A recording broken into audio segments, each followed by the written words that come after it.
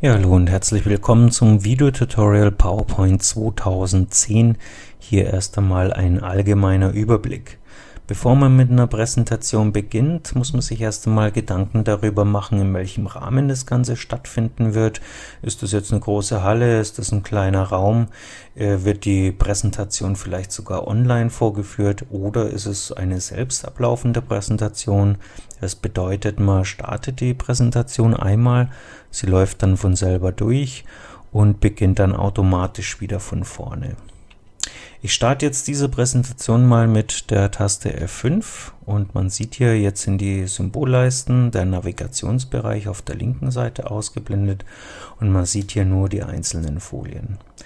Mit der Leertaste oder mit der Maustaste, linke Maustaste, kann ich mich jetzt durch die einzelnen Folien navigieren und an der Stelle zum Beispiel, das ist jetzt nicht einfach ein schwarzer Balken von mir, sondern ich habe ja auch in PowerPoint die Möglichkeit, Filme einzubinden und die kann ich dann hier unten im Navigationsbereich, der sich aufblendet, wenn ich hier mit der Maus hantiere, da kann ich dieses Video starten.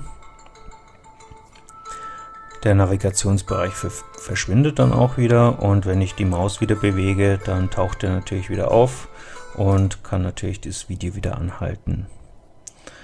Auf der nächsten Folie haben wir ein Diagramm und das kann ich ebenfalls so aufbauen, dass der Inhalt dieses Diagramms animiert ist. Das bedeutet, ich kann also schrittweise diese Inhalte aufblenden lassen. Ich kann auch verschiedene Art und Weisen äh, vor, vorgeben, wie jetzt diese Balken zum Beispiel erscheinen. Hier waren sie nach Kategorie äh, sortiert. Ich kann aber auch jeden, jede Säule einzeln einfliegen lassen. Das ist hier also alles möglich. Gut, ähm, man kann durch diese Präsentation auch mit der Tastatur navigieren. Das bedeutet, ich drücke zum Beispiel die 1 und die Enter-Taste, dann komme ich auf die erste Seite, 3 und Enter komme ich auf die dritte Seite und so kann ich mich ebenfalls durch die einzelnen Folien navigieren.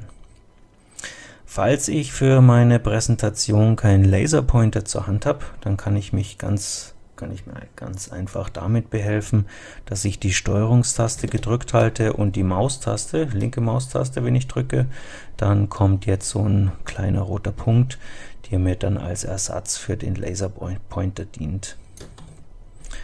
Wenn ich kurz in der Präsentation was erklären muss und möchte nicht, dass die Präsentation weiterhin sichtbar ist, dann habe ich zwei Möglichkeiten. Entweder die Taste B für Black, dann habe ich einen schwarzen Bildschirm oder die Taste W habe ich einen weißen und wenn ich nochmal aufs W klicke, dann ist die Folie wieder sichtbar.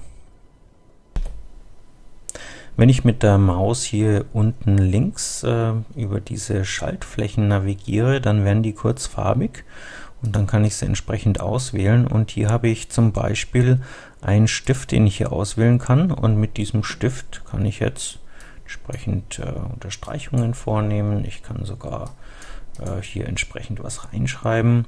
Es gibt aber auch noch neben dem Stift einen Textmarker und der funktioniert genauso wie ein richtiger Marker. Ich gehe hier einfach über dieses Wort drüber, halt die linke Maustaste gedrückt und dann kann ich entsprechend die Bereiche markieren. Wenn ich jetzt die Präsentation anhalte mit Escape, dann werde ich gefragt, ob ich diese Markierungen beibehalten möchte und da ich vielleicht diese Präsentation dann nochmal irgendwo anders halte und sich die Leute wundern, was da für Markierungen drin sind, die ja vielleicht dadurch entstanden sind, weil irgendwelche Fragen aufgetaucht sind, dann verwerfe ich die natürlich jetzt, dann sind die wieder weg.